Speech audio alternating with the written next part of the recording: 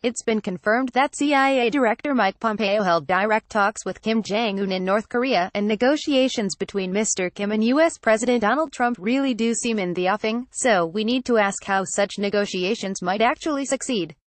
There are indeed reasons to be optimistic, but not because I see high odds of striking a workable deal with the North Korean totalitarian regime to abandon its nuclear ambitions. Instead, the best realistic scenarios would have the North Korean leaders deciding to carve out a more normal existence for their nation. Talks can help create or hasten that outcome. The case for pessimism is not hard to see. The North Korean regime is notorious for conducting and then stalling negotiations, and then proceeding to violate agreements, as a tactic to buy time to build up weapons of mass destruction.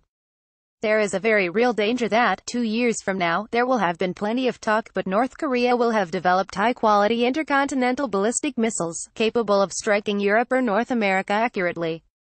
So if time appears to be on the side of the North Koreans, and America does not seem on the verge of a preemptive attack, nor would I recommend one, what is the cause to be optimistic about the outcome of talks?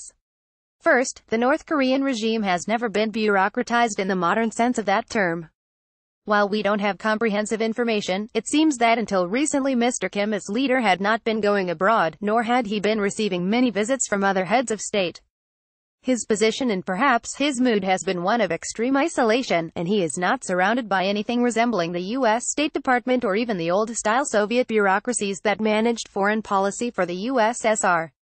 The rest of his regime is probably poorly informed about the extent of American military superiority, should a conflict come to pass. By meeting with other foreign leaders, the North Korean regime would be forced to build up its basic processes for dealing with the rest of the world. That in turn creates interest groups and flows of information, some of which invariably leak out. The North Korean populace responds by thinking more about the outside world, making it harder to control by propaganda. In turn the North Korean leadership may decide to continue economic liberalization. One need not count on an end of history story culminating in liberalism and democratization. The more modest hope would be for the North Korean leadership to become more decentralized, more bureaucratic, better informed and harder to marshal behind crazy military measures. The unspoken goal of engagement would be to encourage North Korea to evolve into a more banal and more predictable form. That is the natural flow of most bureaucratic organizations, so in this regard American negotiators actually have time on their side. The North Koreans are going to change a lot more than the US is likely to. Second, Mr. Kim is only human and has to be thinking some about his own life. Does he want 40 or more years of lining up officials and executing them? These days the headlines are about K-pop in North Korea, such as when the popular girl group Red Velvet performed for Mr. Kim and his wife early in April. It turns out that Mr. Kim is quite a fan of South Korean popular culture, long banned for his people, with brutal enforcement. Another good sign is that Chinese President Xi Jinping has vowed to go to Pyongyang for further talks with Mr. Kim. And in addition to these explicitly political contacts, Mr. Kim visited China's technology hub Zhongguancun, where he was the recipient of much attention and he tried on virtual reality headsets. Perhaps this leader would personally prefer more cultural and economic exchange with South Korea, China and the West.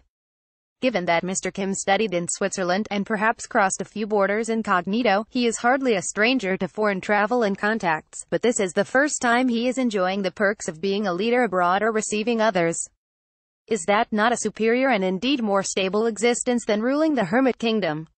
Let's hope he sees that. Think of any diplomatic talks with North Korea as a big active theater, designed not to fool him, but to teach him that theater itself can be fun. Bloomberg View Tyler Cowen is a Bloomberg View columnist.